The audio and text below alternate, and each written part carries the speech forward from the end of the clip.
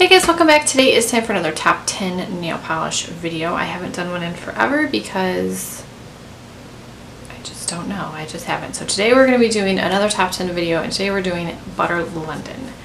I really enjoy Butter London. I, I like all of the polishes that I've tried from the brand and these are my top 10 favorite Butter London polishes. So if you guys want to see my picks, then just keep watching.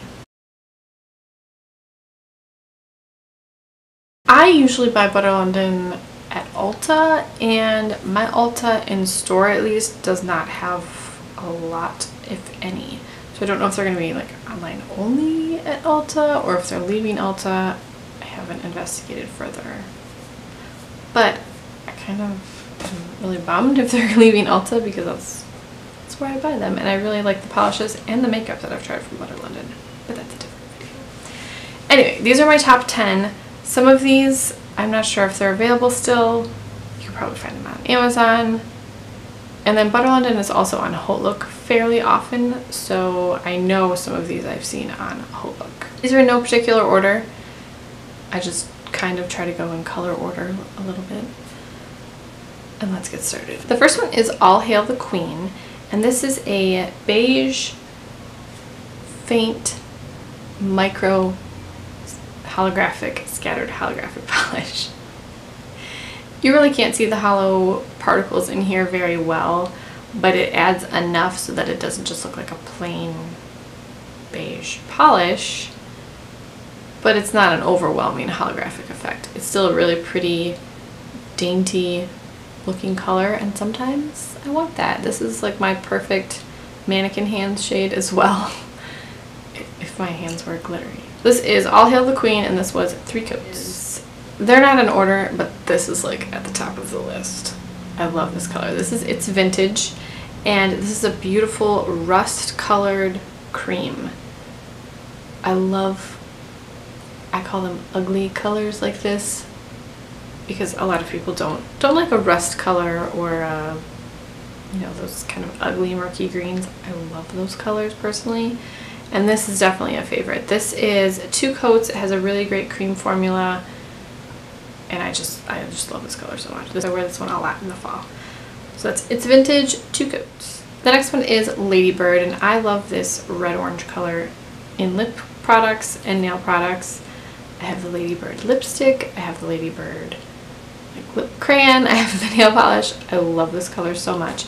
This one has sort of a jelly-like formula. It's not it's not a jelly, but it's not a straight cream. It's, it's sort of, I guess, a crelly is, is the term. Uh, so this one needs three coats to be completely opaque, but I love this bright red. It's just beautiful. I love, I love this color. The next one is called Tramp Stamp, and this is a, I would call this a Merlot cream. This one needs three coats and this is another color that I just think is perfect for fall. A lot of the Butter London polishes that I have actually are very reminiscent of fall colors to me. I don't really know why that is. But I always reach for these colors more in the fall. Maybe that's why I'm, I didn't plan to do this video in the fall time, but it's just sort of working out that way. Anyway, this is another one. Really great formula. Uh, it's a little bit thin, so that's why you need the third coat but the formula itself is good. So this is Tramp Stamp. The next one is an oldie but a goodie. This is called Disco Biscuit and this is a bright pink with some blue and maybe purple. I think blue and purple micro shimmer in here. This is more of a jelly. This also needs three coats, but it's just a really gorgeous pink. It's bright. It's just a really nice pink. It's a, I like this type of pink. If I'm going to wear pink, I want it to be bright. And then the extra shimmer is always welcome. So that is three coats of Disco Biscuit. And I don't know what that name means, but it makes me laugh. The next is Wallis, and I feel like this is kind of everyone's favorite Butter London. It's such an interesting color. It's it's a burnished golden bronzy green, and it's just really, really rich looking when it's on your nails. This one covers in two coats. At one point, I'm not sure how, but at one point this was in a discard, like a destash pile. I don't, I don't even, I must have been drunk while I was destashing. I don't know. Um, I love this color. It looks so multi-dimensional on your nails because it's got this, these particles in it that just, oh, look, look at it. It looks like it's glowing. Gorgeous. That is two coats of Wallis. Next one is another one that I reach for a lot in the fall, and this is called Lust or Must. And this is a very, very, very green toned brown. Uh, this is another one that is opaque in two coats. It has a really great formula. It looks brown on your nails, but in the bottle, at certain lights, you're like, oh, I do see some green in there. But on your nails, it does look brown. I love a brown nail polish. Another thing I like to wear in the fall. And this fits the bill. The next one is a glitter, and this is called the 444.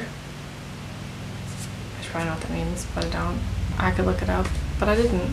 And this is a white and silver micro glitter. This one does need, it, it could technically need three coats, but it's so sparkly that you can get away with two. It's very reflective and you're not going to see a lot of the, any um, patches in your nails because this is, you know, kind of, at least it's kind of my skin tone. Looks like an extension of my fingers. And it's so shimmery that you can kind of get away with too, especially if you sponge on the second coat, which I never do because I'm super lazy. That is two coats of the 444. The next one is another glitter and this is the gold and white and there's some tiny, tiny orange or red, I can't quite tell, glitters in here. This is called West End Wonderland.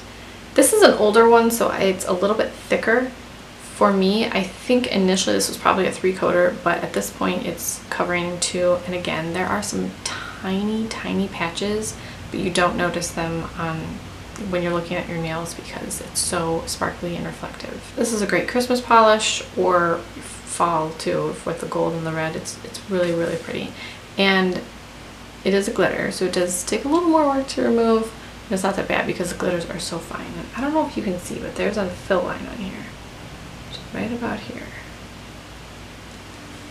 When you have as many nail polishes as I do, that's impressive. The last one is also a glitter, and this is called Disco Nap, and this is a black and silver packed glitter. It's just like kind of a edgy, funky, rock rocker, awesome glitter polish. And this one covers in two coats. This one does dry pretty textured, so you will need a heavy coat of top coat, if not two coats of top coat, but it's worth it because it's all pretty. So that was it. Those are my favorite Butter London nail polishes. Let me know what your favorite colors are from the brand. I didn't have any blues in there. Thank you guys so much for watching. Please subscribe if you haven't already and leave any questions, comments, suggestions, video con I always say video concerns, video requests in the comments down below. And I'll talk to you guys in my next video.